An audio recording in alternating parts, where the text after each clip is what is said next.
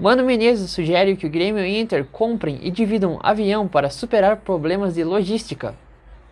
Mano Menezes, técnico do Inter, acredita que fora de campo as direções deveriam estreitar relações e sugere que os clubes dividam um avião para melhorar a logística das viagens e minimizar o desgaste dos grupos. Não é de hoje que o Inter e Grêmio reclamam dos desafios para se deslocar pelo país nas competições nacionais, em especial no Brasileirão.